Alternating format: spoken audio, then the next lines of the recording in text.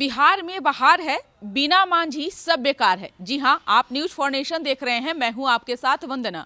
बिहार में जो अभी राजनीति हलचल मची हुई है, इन तमाम चीज़ों के बीच जीतन राम मांझी के द्वारा एक पोस्टर लगाया गया है और उस पोस्टर में आप देख सकते हैं कि जीतन राम मांझी का एक तस्वीर है। संतोष कुमार सुमन जो राष्ट्रीय अध्यक्ष हैं हम पार्टी के, उनकी तस्वीर लगी हुई है और साथ ही हम पार्टी के जो नेता हैं, उनकी तस्वीर इस पोस्टर में लगी हुई है और बिहार का जो नक्शा है, वह जो है दर्शाया गया है और साफ़ तौर पर बड़े स्लोगन के के साथ लिखा हुआ है कि बिहार में बहार है, बिना मांझी सब बेकार है। यानी जीतन राम मांझी जो है क्रेडिट अब लेना चाह रहे हैं कि जिस तरह से बिहार में अगर बहुमत पेश किया जाता है तो तमाम क्षेत्रीय पार्टी हो या फिर जो बड़ी पार्टियाँ हो, वो अपने तमाम बहुमत को पेश करने के लिए जो है एकजुट करने की कोशिश करता है कि ताकि कोई ऐसा चीज़ जो है वह छूट न जाए जिससे कि बहुमत में जो है हम नहीं साबित आ, साबित कर पाएँ और हम फिर से पिछड़ जाएँ।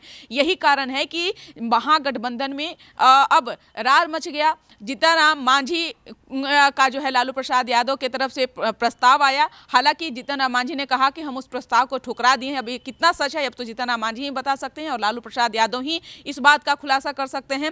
लेकिन इन तमाम चीज़ों के बीच जो बिहार में राजनीतिक गतिविधि अभी है, वर्तमान में तमाम लोगों की फोकस बिहार की राजनीति पर टिकी हुई है। इसी क्रम में अब महागठबंधन से नीतीश कुमार का मोह भंग हो गया है। ये कोई पहली बार नहीं है। इससे पहले भी पहले भी नीतीश कुमार इस तरह का कारनामा करते रहे हैं। और एक बार फिर से वह जो है महागठबंधन से अलग हो चुके हैं।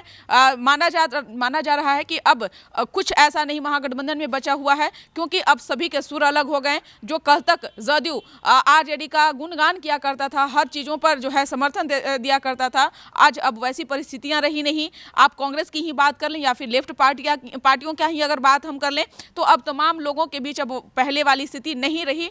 अब नीतीश कुमार एनडीए के हो चुके हैं। अभी औपचारिक ऐलान होना बाकी है लेकिन पूर्णतः जो स्थिति बनी हुई है बिहार में, अभी उससे यह स्पष्ट हो चुका है कि अब बिहार में एक बार फिर से एनडीए की सरकार बनने जा रही है।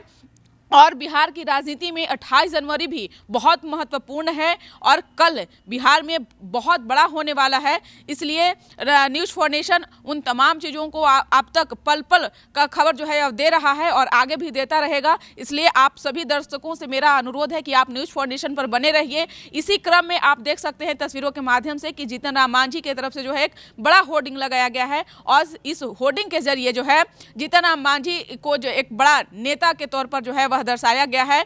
वहीं इस, इस एक नए स्लोगन के साथ जो है उस पर लिखा गया है कि बिहार में बहार है बिना मांझी के सब बेकार है। यानी कि जितना मांझी एक ऐसे दुलरुआ हैं बिहार की राजनीति में कि उनके बिना बिहार की राजनीति में जो है वह अधूरा माना जाए ऐसा हम पार्टी ने जो है वह इस स्लोगन के साथ जो है दर्शाया है। वहीं आपको बता दें कि जिस तरह से नीतीश कुमार कई लंबे लंबे समय से देखा जाए तो नीतीश कुमार जो है वह फोकस कर रहे थे कि आरजेडी के नेताओं का क्या एक्टिविटी है तो आप जरा एक बार गौर करेंगे कि जब, जैसे ही बिहार में एनडीए की सरकार गिरी थी और महागठबंधन की सरकार बनी थी, कुछ ही दिनों के बाद राजद के तमाम नेता जो है नीतीश कुमार पर कई तरह के बयान देते रहे। अभद्र भाषा का भी प्रयोग किया गया था, लेकिन इन तमाम चीज़ों को, जो कहा जाए कि घूट पी रहे थे नीतीश कुमार और अंततः जो है, जो परिणाम है वो सबके सामने है। लेकिन इन सब के बीच जो है, अब जितना मांझी क्रेडिट लेने में लगे हुए हैं और यही कारण है कि एक होर्डिंग के ज़रिए जीतन राम मांझी ने यह बताया है कि जीतन राम मांझी को अगर साथ रखते हैं, उसमें ही भलाई है और जीतन राम मांझी के बिना कुछ भी संभव नहीं है।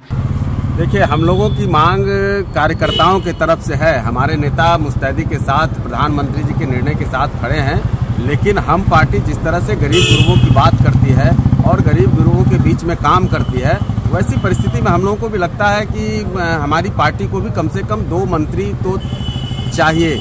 दो मंत्री पद अगर रहेगा तो हम जनता को बेहतर सेवा दे सकेंगे और कार्यकर्ताओं की जो एक आकांक्षा है, उसकी पूर्ति ज़रूर होनी चाहिए। हमारे नेता प्रधानमंत्री जी के निर्णय के साथ खड़े हैं, लेकिन हम कार्यकर्ताओं की इच्छा है कि पार्टी को कम से कम दो मंत्री पद मिलने चाहिए।